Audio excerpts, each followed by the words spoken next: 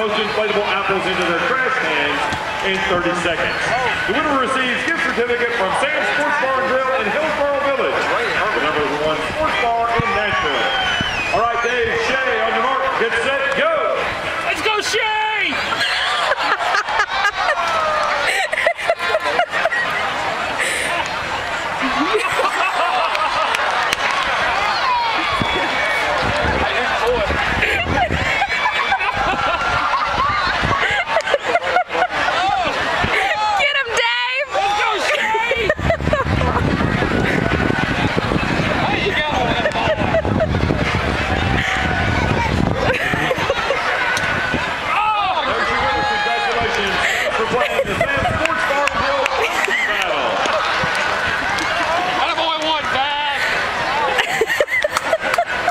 sure to stop by Sam's in Hillsboro Village, Milwaukee, almost seventh street for all the credit like NHL, MLB, and every NFL game.